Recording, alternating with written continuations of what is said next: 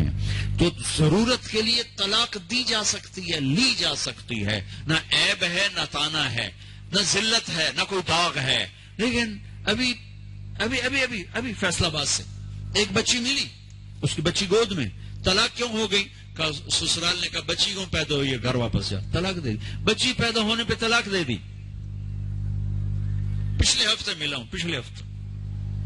क्या कुछ हो रहा है जी? बच्ची पैदा हुई, तलाक दे दी।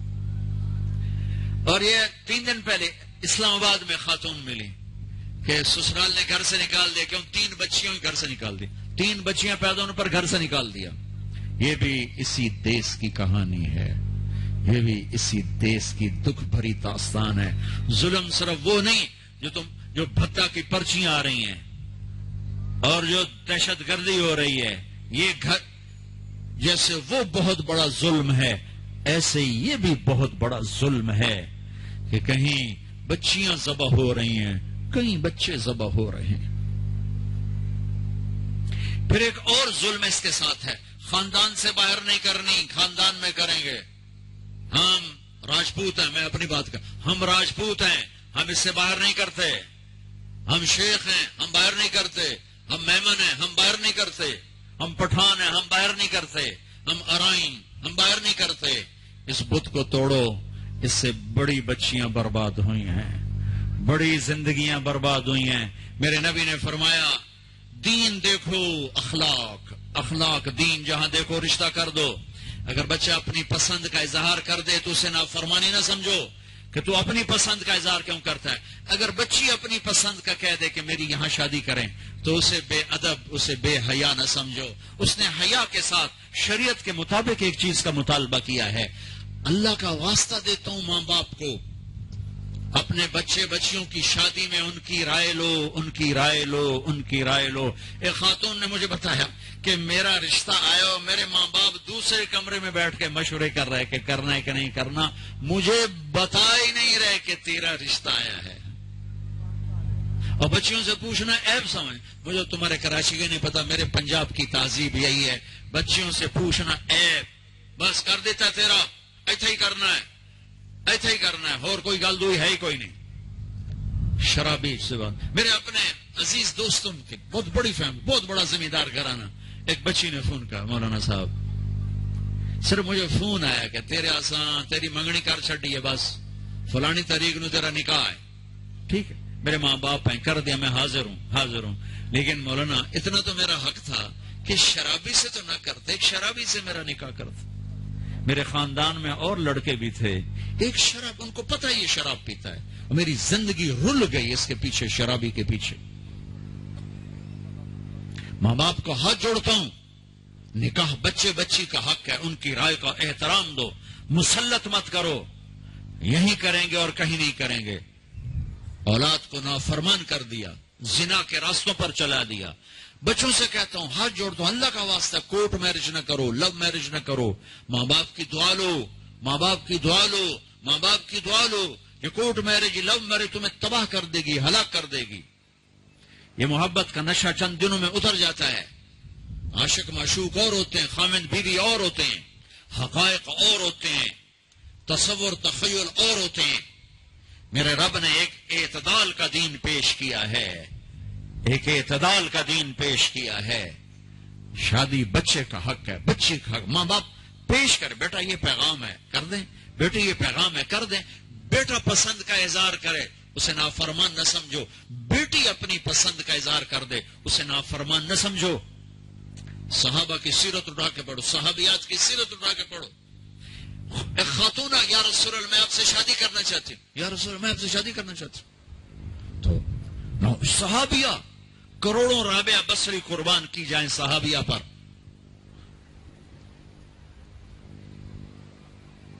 हाँ।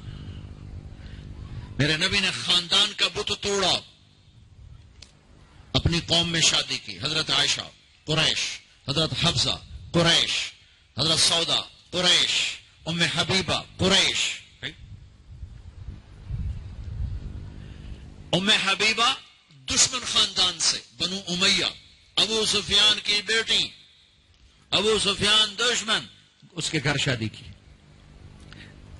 इस बुत को तोड़ा है फिर कुरैश से बाहर निकले अरब अरब मैमूना मैमूना रज़ी हिलालिया जुवैरिया रज़ी बनु मुस्तलक जैनब बिनत जहश कुरैश जैनब बिनत खुजैना खुजैमा कुरैश उम सलमा कुरैश बाहर निकले जैनब हिला मैमूना हिलालिया कुरैश से बाहर जुवैरिया बनु मुस्तलक कुरैश से बाहर फिर एक कदम आगे अरबों के बाहर शादी की यहूदियों में हज़रत सफिया यहूद बनु कुरैजा बनु कुरैजा आप जानते थे कि मेरी उम्मत ये बुत खड़े करेगी, ये बुत खड़े करेगी। बच्चियाँ बूढ़ी हो जाएँगी, कहेंगी, बस, राजपूत मिलेगा तो करेंगे, नहीं तो नहीं। मेमन मिलेगा तो करेंगे, नहीं तो नहीं। शेख मिलेगा तो करेंगे, नहीं तो नहीं। ये पता नहीं कितों आ गए, जट बट नट कितों इकट्ठे हो गए। कौमें तो पहचान के लिए हैं, न कि इन दीवारों को खड़ा करने के लिए। फिर अपनी बच्चियों को सुनो, मेरे नबी ने हज़रत जैनब का रिश्ता किया अबुल आस बनु उमैया, दुश्मन खानदान दुश्मन खानदान। हज़रत रुकैया, हज़रत उस्मान, बनु उमैया, हज़रत उम कुलसुम, हज़रत उस्मान, बनु उमैया। मुखालिफ धड़े में, हज़रत उस्मान अपना धड़ा छोड़ के आ गए, लेकिन पीछे निस्बत तो बनु उमैया है। एक बच्ची फातिमा अपने घर में दी, अली को। और वो भी कैसे दी? एक हदीस सुनो, मेरे नबी ने फरमाया, मा तजवश तो व मा जवश तो इल्ला बेवाहिन मिनसमा नजल अभी जबरील। मैंने जहाँ शादी की, मैंने जहाँ बेटी दी, पहले आसमान से जबरील आया, हुक्म सुनाया, फिर मैंने कदम उठाया, ठीक हो गया? ठीक है?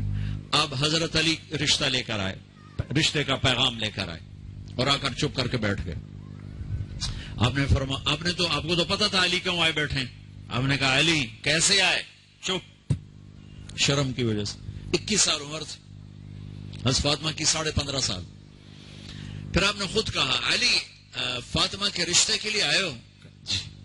तो आपने कहा इंशाला इंशा और ये कहकर उठ गए। तो हज अली बड़े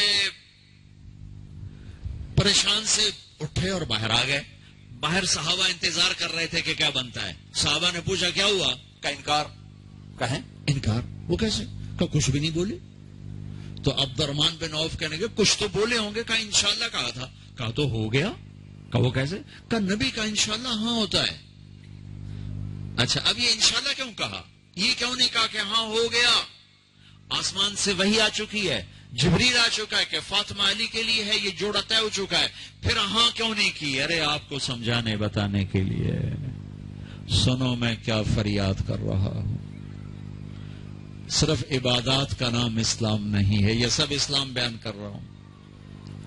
मेरे नबी घर आए, फातिमा जैसी जन्नत की शहजादी को बुलाया, बेटी, फातिमा, अली का रिश्ता आया है, हाँ कर दू? क्या वही के आने के बाद भी पूछने की ज़रूरत थी? जब अल्लाह कह चुके हैं कि फातिमा अली के लिए हैं और आसमान से जबरील आ चुके हैं कि ये रिश्ता आसमानों पे तय हो चुका है। फिर ये क्यों कहा, फातिमा बेटी? अली का रिश्ता आया है, हाँ कर दू। ये कराची वालों को सिखाने के लिए, क्यामत तक की उम्मत को सिखाने के लिए कि बेटियों से पूछा जाता है कि ये शादी बेटी का हक है, ये निकाह बेटे का हक है।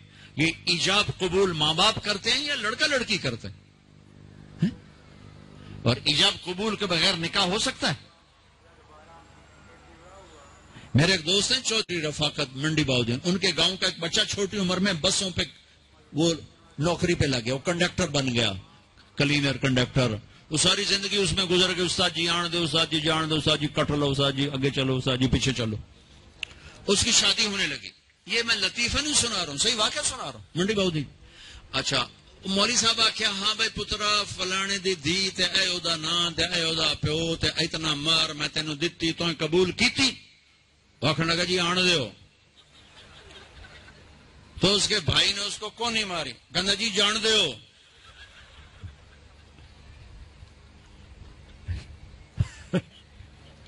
समझा चाहते भी आन दो तो जान दो कट लो कर लो ईजाब कबूल कितने ज़रूरी लफ्ज हैं कि जब तक लड़की लड़का ये नहीं कहेंगे निकाह नहीं होगा, ये माँ बाप का हक है, ये बच्चों का हक है। तो आज माँ बाप क्यों जुल्म करते हैं कि ज़बरदस्ती अपनी मर्ज़ी की शादी मुसलत करते हैं? अल्लाह करे हमारी औलाद हमारी मर्ज़ी पे शादी करे। बच्चों से कहता हूँ माँ बाप की मर्ज़ी की शादी करो माँ बाप की मर्ज़ी की शादी करो माँ बाप की मर्ज़ी की शादी करो। मैं तुम्हें बगावत की राहें नहीं दिखा रहा, लेकिन जो माँ बाप जबर कर रहे हैं, मैं उसके हाथ सामने हाथ जोड़ रहा हूँ, उसके सामने हाथ जोड़ रहा हूँ कि वाकयात सुन सुन के देख देख के मेरा कलेजा पका हुआ है। मैं इसलिए बोल रहा हूँ ये वो मजामी है जो नई मेंबर से बयान किए जाते मैं बोल रहा हूँ कि ये मेरे मुआशरे की दुखती हुई रगे हैं। जहाँ नेकी देखो, वहाँ रिश्ता दे दो। चाहे खानदान हाँ। खानदान में को तरजीह दो। खानदान को तरजीह दो। कोई शक नहीं, कोई शक नहीं। लेकिन अगर खानदान में जोड़ नहीं बाहर तलाश करो। हमारे ये हम बच्ची वाले, हम कैसे जाएँ? बच्ची वाले नहीं जा सकते। ये तो हिंदुस्तान की हिंदी सकाफत है। मेरी बेटी जवान है, मेरे जिम्मे मैं अपनी बेटी का रिश्ता तलाश करूँ। मैं जाकर कौन भाई, मेरी बच्ची जवान है, अगर आपको मुनासिब लगे तो आप हमारा पैगाम कबूल कर लें। लेकिन हम अपनी बच्चियों को बूढ़ा कर देते हैं, कोई रिश्ता आए तो करें, कोई रिश्ता आए तो करें। फिर एक ये रिश्ते कराने वालियों का चक्कर है, इसने कितने घर तबाह कर दिए हैं। तो माँ बाप से कहता हूँ राय लो। औलाद से कहता हूँ माँ बाप के खिलाफ ना जाओ ना जाओ ना जाओ ना जाओ। बरकत क्या दीन सारा हाथ से निकल जाएगा।